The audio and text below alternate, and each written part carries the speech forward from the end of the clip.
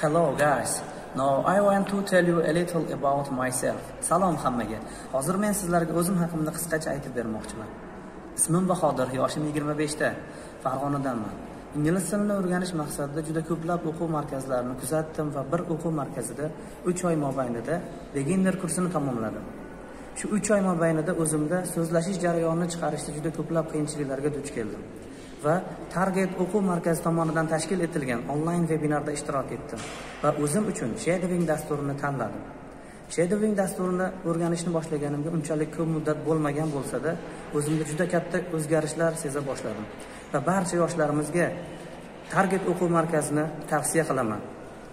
Agar sizda qo'shimcha savollar paydo bo'lsa, 99 lik kodi bilan 993 1413 raqamiga hech ikkilanmasdan qo'ng'iroq qilishingiz mumkin. Rahmat. Hello everybody, my name is Nader. I am 28 years old. I am from Fergana city. Nowadays I live in Tashkent city because of my work. Assalomu alaykum aziz yoshlar.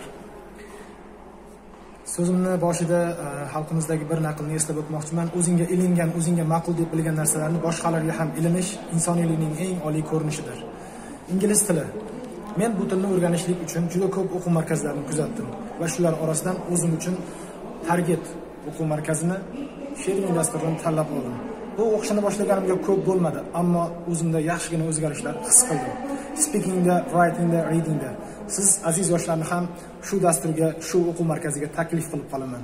O'zingizda qiziqtirgan savollarni 99 lik kodi bilan 816 44 43 ma'lumotlari orqali bilib olishingiz mumkin. Kelajak sari to'g'ri yo'lni tanlash o'z qo'lingizda. Bay assalomu alaykum man eshmurod jamol yoshim o'n oltida. Toshkentdanman manga target o'quv markazi judayam yoqdi. Man target o'quv markazida onlayn darsda o'qiyapman. Darslar judayam sifatli o'tiladi. O'qituvchimiz miss sevara har doim darslarni o'z vaqtida qoldirmasdan o'tib beradilar. Tushunarli qilib man bir oy oldin ularda sevarada o'qishni boshladim. Manga darslari judayam yoqdi. Ancha narsani o'rganyapman xohlasanglar sizlar ham o'qishinglar mumkin. Target o'quv markazi judayam zo'r.